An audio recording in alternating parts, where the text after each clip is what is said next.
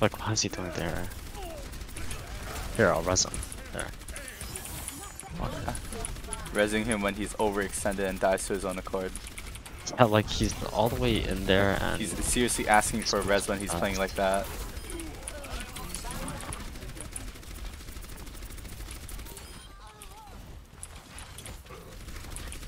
Like, he's always overextended in front of our tank, dies, and then he blames no res or, like, no heals. Doesn't make any fun.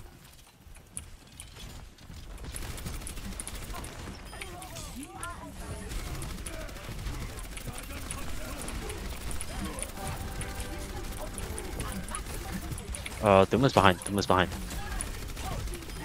Doom is behind, Doom is behind still. Like him. here.